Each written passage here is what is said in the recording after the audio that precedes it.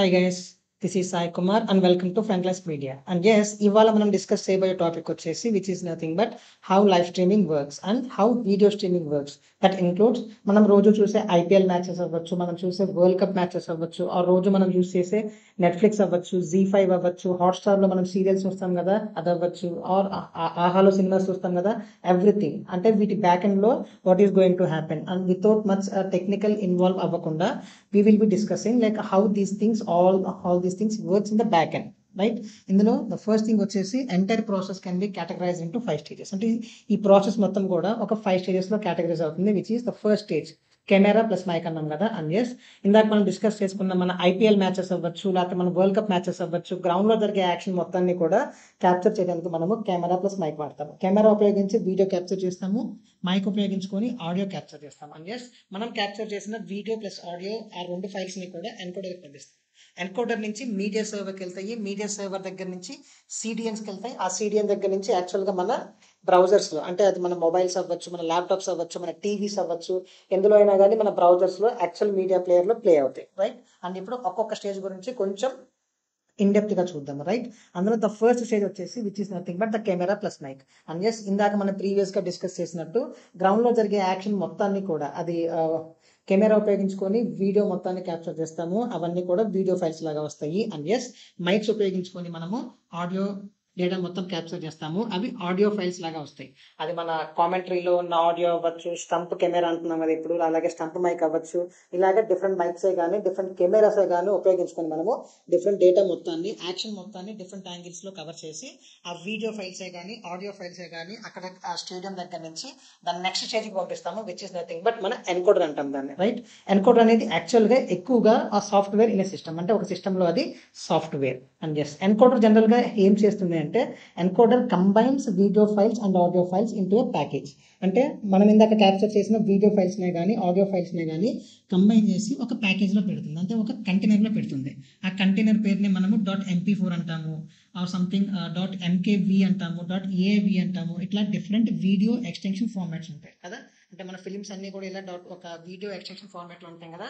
Which are nothing but అవన్నీ కూడా ఒక కంప్లీట్ ప్యాకేజ్ ఆ ప్యాకేజ్లోకి కన్వర్ట్ చేసేదే ఎన్కోడర్ రైట్ అండ్ ఈ ఎన్కోడర్లో వచ్చేసి we do have something like capture device అని చెప్పేసి ఒక ఒక సంథింగ్ లైక్ ఒక ఫీచర్ ఉంటుంది. దాంతో మనం యాక్చువల్గా ఫైల్స్ని క్యాప్చర్ చేసుకోవచ్చు. ఇందాక మనం డిస్కస్ చేసిన వీడియో ఫైల్సే కానీ ఆడియో ఫైల్సే కానీ దీంతో క్యాప్చర్ చేసుకోవచ్చు రైట్ అండ్ ఎస్ ఈ పర్టికులర్ ఎన్కోడర్లో వచ్చేసి మనకి డిఫరెంట్ టైప్స్ ఉంటాయి విచ్ ఇస్ నథింగ్ బట్ ఒక సాఫ్ట్వేర్ ఎన్కోడర్స్ ఉంటాయి హార్డ్వేర్ ఎన్కోడర్స్ ఉంటాయి ఐపీ కెమెరాస్ ఉంటాయి బ్రౌజర్ వెబ్ ఆర్టీసీ ఉంటాయి. ఇందులో మనం ఎక్కువగా వాడేవైతే సాఫ్ట్వేర్ ఎన్కోడర్స్ వాడతాము హార్డ్వేర్ ఎన్కోడర్స్ వాడతాము. అని చేసి మరి సాఫ్ట్వేర్కి హార్డ్వేర్కి హార్డ్వేర్కి తేడా ఏంటి? సాఫ్ట్వేర్ వచ్చేసరికి మనం ఏదన్నా సంథింగ్ లైక్ మన ల్యాప్టాప్స్లో కానీ పెద్ద పెద్ద సర్వర్స్లో కానీ రన్ చేయొచ్చు. అలాగే హార్డ్వేర్ ఎన్కోడర్స్ వచ్చేసి these are dedicated hardware to perform encoding option అంటే ఈ పర్టికులర్ హార్డ్వేర్స్ ఉపయోగించుకొని కేవలం మనం ఎన్కోడింగ్ మాత్రమే చేయగలము. అంటే అది వీడియో ఎన్కోడింగ్ ఇందాక డిస్కస్ చేశాం కదా. ఆ ఎన్కోడింగ్ ప్రాసెస్కి కేవలం అంటే ఆ ఒక్క పని చేయడానికి మాత్రమే ఒక హార్డ్వేర్ డిజైన్ చేస్తే అవే హార్డ్వేర్ ఎన్కోడర్స్ అందేసి ఇప్పుడు మరి ఈ సాఫ్ట్వేర్ ఎన్కోడర్స్కి హార్డ్వేర్ ఎన్కోడర్స్కి డిఫరెన్స్ ఏంటి అంటే సాఫ్ట్వేర్ ఎన్కోడర్స్ వచ్చేసి కొంచెం చీప్ అండ్ బెస్ట్గా వస్తాయి. కొంచెం తక్కువ ఖర్చుతో అయిపోతుంది. కానీ అంత ఎఫిషియెంట్గా ఉండవు. అంటే ఆ సాఫ్ట్వేర్ అనుకోవడం ఏంటండి? ఈ సాఫ్ట్వేర్ అనుకోవడం డిపెండ్స్ ఆన్ హోస్ట్. అంటే మనం ఫర్ ఎగ్జాంపుల్ ఒక ల్యాప్టాప్ కనుక తీసుకుంటే ఆ ల్యాప్టాప్ లోపల ఒక ఒక సాఫ్ట్వేర్ వేసుకుంటాము. ఆ సాఫ్ట్వేర్లో మనం ఎన్కోడింగ్ చేస్తాము. అంటే ఆ పర్టికులర్ సాఫ్ట్వేర్ యొక్క ఫ్లెక్సిబిలిటీ అనేది మన ల్యాప్టాప్ మీద డిపెండ్ అయి ఉంటుంది. మంచి ల్యాప్టాప్ అయితే మంచిగా ఎన్కోడింగ్ చేస్తుంది. అలాగే కొంచెం తక్కువ ఒక నార్మల్ ల్యాప్టాప్ అయితే ఆ క్వాలిటీ అనేది తగ్గిపోతుంది. కానీ హార్డ్వేర్ ఎన్కోడింగ్లో వచ్చేసి ఆ పర్టికులర్ హార్డ్వేర్ వచ్చేసి కేవలం మనకి ఎన్కోడింగ్ మాత్రమే యూజ్ చేస్తున్నాం కాబట్టి కంపల్సరీగా అందులో క్వాలిటీ అనేది చాలా బాగా ఉంటుంది. కానీ ప్రైసీగా కూడా ఉంటుంది. Like that we can not afford జనరల్గా అండ్ ఈ హార్డ్వేర్ ఎన్కోడర్స్ ఎక్కడ వాడతారంటే ఇప్పుడు మనం ప్రీవియస్గా డిస్కస్ చేసిన ఐపీఎల్ ఉంది కదా ఐపీఎల్లో ఇంపార్టెంట్ ఏంటి? ఆ క్వాలిటీ అనేది ఇంపార్టెంట్ ఆ క్వాలిటీ అనేది ఇంపార్టెంట్ కాబట్టి అటువంటి సమ్ వెరీ యూస్ఫుల్ చోట మాత్రమే ఎక్కువగా హార్డ్వేర్ ఎన్కోడర్స్ వాడతారు. జనరల్గా మనమైతే సాఫ్ట్వేర్తోనే వెళ్ళిపోతాం రైట్ ఎస్ ఆ సాఫ్ట్వేర్ ఎన్కోడర్స్కి ఎగ్జాంపుల్స్ వచ్చేసి OBS which is open source generally OBS అనేది చాలా ఫ్రీక్వెంట్గా చాలా మంది యూట్యూబర్సే కానీ చాలా ఎక్కువ మంది వాడేది ఓబిఎస్ విచ్ ఈజ్ ఒక open source software encoder right అట్లాగే విమియో ఉంది ఫ్లర్టిన్ ఉంది అలాగే స్ట్రీమ్ ల్యాబ్స్ ఉంది షేర్ ఎక్స్ ఉంది. These are all the examples for software encoders అలాగే హార్డ్వేర్ ఎన్కోడర్స్కి ఎగ్జాంపుల్స్ వచ్చేసి ఎన్విడియా గ్రాఫిక్ కార్డ్స్ వాడతాం కదా ఎక్కువగా ఎడిటింగ్కి వాటికి గ్రాఫిక్ కార్డు ఉన్న ఒక హై అండ్ ల్యాప్టాప్ తీసుకుంటాం కదా ఆ హై అండ్ ల్యాప్టాప్ అంటే విచ్ ఇస్ నథింగ్ బట్ అందులో మనకి గ్రాఫిక్ కార్డ్ ఉంటుంది. ఎస్ అండ్ ఎస్ ఆ గ్రాఫిక్ కార్డ్ వచ్చేసి ఎన్విడియా అలాగే టెరాడెక్ అని ఉంటుంది అలాగే నయాగరా అనే ఉంటాయి right these are all the examples for hardware encoders right and yes తర్వాత స్టేజ్ వచ్చేసరికి ఎన్కోడర్ స్టేజ్ తర్వాత మనము మీడియా సర్వర్ అనే స్టేజ్లోకి వచ్చాము వేర్ ఇప్పుడు మనకి ఎన్కోడర్ అనే ఒక స్టేజ్ నుంచి మీడియా సర్వర్ దగ్గరికి డేటా అనేది ఆర్టీఎంపీ అనే ప్రోటోకాల్ ద్వారా వస్తుంది which is nothing but real time messaging protocol ఈ పర్టికులర్ ఆర్టీఎంపీ ప్రోటోకాల్ వచ్చేసి which uses TCP transmission control protocol అనే దాన్ని ఉపయోగించుకొని డేటాని ఎన్కోడర్ నుంచి మీడియా సర్వర్కి పంపిస్తుంది. అండ్ ఎస్ ఒట్టి ఆర్టీఎంపీఏ ఉందా అంటే నో ఎస్ఆర్టీ అనే ప్రోటోకాల్ కూడా ఉంది which is nothing but secure reliable protocol which is which uses back ఎండ్లో అది యూడిపి వాడుతుంది. అండ్ ఎస్ ఆర్టీఎంపీ అనేది ఒక ఓల్డ్ ప్రోటోకాల్ ఇప్పుడు ఎస్ఆర్టీ అనేది కొత్తగా వస్తున్న ప్రోటోకాల్ అండ్ మీడియా సర్వర్కి ఎన్కోడర్ నుంచి డేటా అయితే వచ్చింది. ఆ డేటాని ఇప్పుడు మీడియా సర్వర్ ఏం చేస్తుంది? ఓకే? ఆ వచ్చిన డేటాని మీడియా సర్వర్ వచ్చేసి ఏబిఎస్ అనే ఒక టెక్నిక్ యూస్ చేస్తుంది. Which is nothing but adapt to bit rate streaming అంటాం దాన్ని. అంటే విచ్ ఇస్ నథింగ్ బట్ ఇప్పుడు మనం ఒక యూట్యూబ్ ఓపెన్ చేసినా కానీ ఫేస్బుక్ ఓపెన్ చేసినా నెట్ఫ్లిక్స్ కానీ అమెజాన్ ప్రైమ్ హాట్స్టార్ ఇలా మనం ఏ స్ట్రీమింగ్ ప్లాట్ఫామ్ ఓపెన్ చేసుకున్నా కానీ మనకి ఒక వీడియో అనేది డిఫరెంట్ క్వాలిటీస్లో అవైలబుల్గా ఉంటుంది.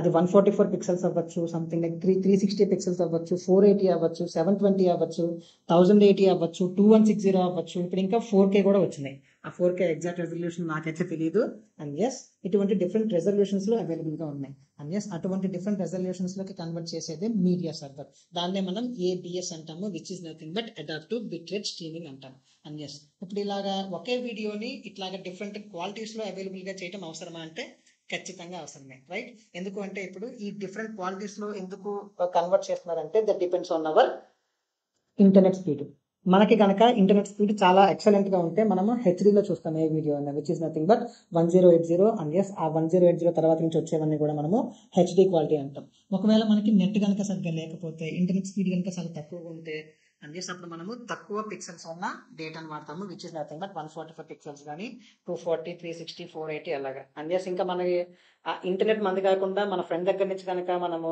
హాట్స్పాట్ తీసుకుంటే ఖచ్చితంగా హెచ్డీకి వెళ్ళిపోతాము. అది వేరే విషయము. అండ్ ఇట్ ఇట్ ఇట్లాగా ఇంటర్నెట్ స్పీడ్ అవైలబిలిటీ బట్టి వాళ్ళు స్ట్రీమింగ్ చేసుకోవడానికి మీడియా సర్వర్ వచ్చేసి డిఫరెంట్ రెజల్యూషన్స్లో వీడియోస్ని కన్వర్ట్ చేస్తుంది. ఓకే? అంటే ఇప్పుడు మన యాక్చువల్ కెమెరా ప్లస్ మైక్ నుంచి ఎన్కోడర్కి వచ్చాము ఎన్కోడర్ నుంచి మీడియా సర్వర్కి వచ్చాము ఎన్కోడర్ వచ్చేసి మనకి విడిగా వచ్చిన ఆడియో ప్లస్ వీడియో ఫైల్స్ని మిక్స్ చేస్తుంది. వాటిని ఒక ప్యాకేజ్లో పెడుతుంది. దాన్ని మనం. డాట్ ఎంపీ ఫోర్ అని డాట్ ఎంకేబి అంటాము. అలాగే అక్కడి నుంచి డేటా మొత్తం కూడా మీడియా సర్వర్కి వస్తుంది. మీడియా సర్వర్ ఆ ప్యాకేజ్ని డిఫరెంట్ రెజల్యూషన్స్లో కన్వర్ట్ చేస్తుంది. Like one forty four three sixty four eighteen వగేరా వగేరా. అండ్ ఎస్ ఈ మీడియా సర్వర్ దగ్గర నుంచి డేటా మొత్తం కూడా మనకి సిడిఎన్స్కి వెళ్తుంది. సిడిఎన్ అంటే which is nothing but content delivery network అంటారు ఇందులో ఉన్న కంప్యూటర్స్ని మనము నోట్స్ అన్న అంటాము లేకపోతే ఎడ్జ్ సర్వర్స్ అన్న అంటాము. ఈ సిడిఎన్స్ అనేవి జనరల్గా మనకి దేనికి యూజ్ అవుతాయి అంటే లేటెన్సీని తగ్గించడానికి అంటే డిలే తగ్గించడానికి ఫర్ ఎగ్జాంపుల్ ఇప్పుడు మనకి ఐపీఎల్ మ్యాచెస్ జరుగుతున్నాయి కదా. ఫర్ ఎగ్జాంపుల్ మన నెక్స్ట్ మ్యాచ్ వచ్చేసి చెన్నైలో జరుగుతుంది అనుకున్నాము. చెన్నైలో జరుగుతున్న మ్యాచ్ని మనం ఆంధ్రాలో ఉండి ఒకేసారి చూస్తాము. అలాగే మన ఫ్రెండ్ ఎవరైనా ఆస్ట్రేలియాలో ఉన్నా ఒకేసారి చూస్తారు. మనం ఆంధ్రాలో ఉన్నాము పక్కనే ఉన్నాం కదా అని చెప్పేసి మనకి ఫాస్ట్గా ఏం రాదు. వాళ్ళు ఆస్ట్రేలియాలో ఉన్నారు కదా అని చెప్పేసి వాళ్ళకి మనకి ఒక ఓవర్ ఏం డిఫరెంట్ ఉండదు. మనం ఏం చూస్తాము వాళ్ళు కూడా అదే ద సేమ్ థింగ్ చూస్తారు ద సేమ్ లైవ్ చూస్తారు. అది ఎలా చూస్తారంటే దే ఆర్ యూజింగ్ సిడి అనే దాన్ని సిడిఎన్ అనే దాన్ని యూజ్ చేస్తారు. అంటే ఏం చేస్తారంటే చెన్నై నుంచి అంటే ఈ ఎగ్జాంపుల్ వరకు చెన్నై నుంచి ఒకేసారి మనము చూస్తాము ఆస్ట్రేలియాలో మన ఫ్రెండ్స్ కూడా చూస్తారు. అది ఎట్లా అంటే ఇప్పుడు డేటా అనేది చెన్నై నుంచి డైరెక్ట్గా మనకి వాళ్ళకి కాకుండా ఇక్కడ ఆంధ్రాలో ఒక సీడీని అరేంజ్ చేస్తారు అలాగే ఆస్ట్రేలియాలో ఒక సీడీని అరేంజ్ చేస్తారు అలాగే అమెరికా ఫ్రాన్స్ ఇలాగా మొత్తం ప్రపంచం మొత్తంలో ఎక్కడికైనా కానీ వాటి దగ్గర ఏరియాస్లో ఒక సీడియన్ అరేంజ్ చేస్తారు. అంటే ఎస్ ఇక్కడ ఇప్పుడు చెన్నై నుంచి ఒకేసారి ఆ లైవ్ స్ట్రీమింగ్ డేటా అనేది అది వీడియో ప్లస్ ఆడియో అవ్వచ్చు ఆ మొత్తం కూడా ఒకేసారి మన ఆంధ్ర దగ్గర ఉన్న సీడియన్ దగ్గరికి వెళ్తుంది ఆస్ట్రేలియా దగ్గర ఉన్న సీడియన్ దగ్గరికి వెళ్తుంది అలాగే ప్రపంచం మొత్తం ఎన్ని సీడియన్స్ అయితే ఉన్నాయో వాటి దగ్గరికి ఒకేసారి వెళ్తుంది. అండ్ ఎస్ మనం అందరం కూడా మన దగ్గరలో ఉన్న సీడియన్ దగ్గర నుంచి మాత్రమే డేటాని చూస్తాం కానీ డైరెక్ట్గా స్టేడియం నుంచి వచ్చే డేటాని మాత్రం చూడము. అండ్ ఎస్ ఈ సీడియన్స్ వల్ల డిలే తగ్గి అందరికీ ఒకేసారి డేటా అనేది డిస్ట్రిబ్యూట్ అవుతుంది which is video files or audio files. And yes ఇప్పుడు ఆ మీడియా సర్వర్ దగ్గర నుంచి సీడియన్కి డేటా రావాలంటే మనకి కొన్ని ప్రోటోకాల్స్ ఉన్నాయి. అందులో ద ఫస్ట్ ప్రోటోకాల్ వచ్చేసి హెచ్ఎన్ఎస్. దాన్నే మనం హెచ్టిటిపి లైవ్ స్ట్రీమింగ్ అంటాము. దిస్ సపోర్ట్స్ ప్లేబ్యాక్స్ రైట్ ఈ హెచ్ఎల్ఎస్ అనే ప్రోటోకాల్ని యాపిల్ కంపెనీ తయారు చేసింది ఓకే ఇక్కడ ప్లేబ్యాక్స్ ఉన్నాయి. ప్లేబ్యాక్స్ అంటే విచ్ ఇస్ నథింగ్ బట్ మనం ఇప్పుడు అమెజాన్ ప్రైమ్లోనే కానీ హాట్స్టార్లోనే కానీ మనము uh, ఒక వీడియో స్ట్రీమ్ అవుతున్నప్పుడు దాన్ని వెనక్కి వెళ్ళి కూడా చూడొచ్చు. వెనక్కి ముందుకి కదులుతూ ఉంటాం కదా సినిమా నచ్చకపోతే ఫాస్ట్ ఫార్వర్డ్ చేస్తాము. ఒకవేళ ఆ సినిమాలో ఏదన్నా బిట్ అర్థం కాకపోతే మళ్ళీ వెనక్కి వెళ్ళి చూస్తాము. ఇటువంటివన్నీ చేస్తాం కదా అండ్ జస్ట్ దాన్ని ప్లేబ్యాక్స్ అంటాము అండ్ జస్ట్ అటువంటి ప్లేబ్యాక్ని సపోర్ట్ చేసేది హెచ్ఎల్ఎస్ ఆ హెచ్ఎల్ఎస్ అనేది యాపిల్ అనే కంపెనీ తయారు చేసింది. ఐ థింక్ టూ థౌజండ్ నైన్లో తయారు చేసింది అనుకుంటా. అండ్ జస్ట్ ఇప్పుడు హెచ్ఎల్ఎస్తో పాటు ఇంకొక కొత్త ప్రోటోకాల్ వచ్చింది విచ్ ఈస్ డాష్ అంటాం దాన్ని. Dynamic adaptive streaming over HTTP అనేది. అండ్ జస్ట్ ఇందులో ప్రాబ్లం ఏంటంటే ఈ డాష్ అనే ప్రోటోకాల్ ఏ యాపిల్ డివైస్ కూడా సపోర్ట్ చేయదు అమెజాన్ క్లౌడ్ ఫ్రంటే కానీ మైక్రోసాఫ్ట్ ఎజ్యూరే కానీ గూగుల్ క్లౌడ్ ప్లాట్ఫామే కానీ these are all the examples for CDN right and next thing వచ్చేసి మీడియా ప్లేయర్ అండ్ ఎస్ ఇప్పుడు ఆ సిడిఎన్స్లో ఉన్న డేటా మొత్తం కూడా డైరెక్ట్గా మన మొబైల్స్లో కానీ మన మన ల్యాప్టాప్స్లో కానీ మన పీసీస్లో కానీ మన ట్యాబ్సే కానీ మన టీవీస్లో కానీ డైరెక్ట్గా మన బ్రౌజర్లోకి బ్రౌజ్ అయ్యి అక్కడ ప్లే అవుతాయి కదా దాన్ని మీడియా ప్లేయర్ అంటారు. ఈ కంటెంట్ కనుక మీకు నచ్చినట్టయితే please to followers thank you